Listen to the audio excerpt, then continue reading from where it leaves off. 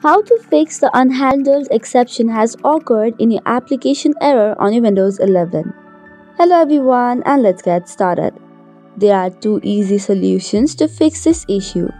So let's get started without any further ado. Firstly, click on the search bar and tap in control panel and hit the enter button. Once you do it, it will open a new screen. Once you see the screen, tap on the option of programs and features. Once you tap on it, it will open a new interface.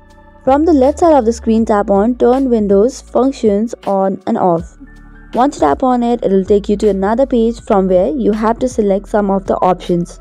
Tick on two of the options called as .NET, then tap on Apply and OK. And this should probably fix the issue. However, if it does not, let's move on to the next solution.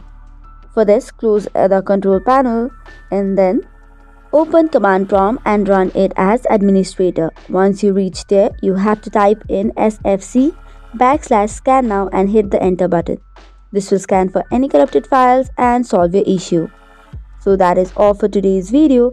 For more such contents, do not forget to hit the like and subscribe button. Thank you and keep watching.